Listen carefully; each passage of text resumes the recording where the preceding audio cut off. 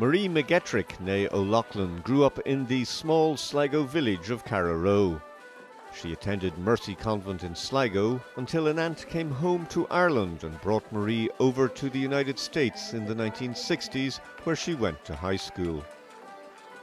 Having completed high school, she returned briefly to Ireland, but was soon back in America, where she quickly got a job and her own apartment. She later enrolled at Baruch College where she studied for an accounting degree.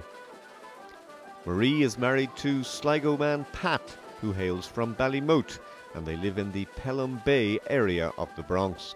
Pat is a former Sligo Association president.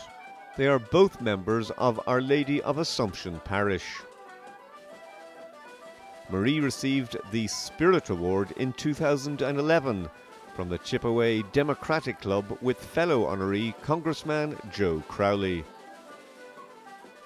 Both Marie and Pat worked with Sligo Dáil Deputy and now Junior Minister John Perry and New York Mayor Michael Bloomberg on the project that led to the erecting of the General Michael Corcoran Memorial in Ballymote in Sligo in 2006.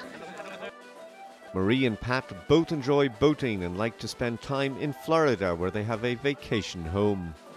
They have many nephews and nieces. Marie has five brothers. Marie is delighted to be the recipient of this great honour and expresses her thanks to all who have travelled for this special occasion and to celebrate our faith and heritage.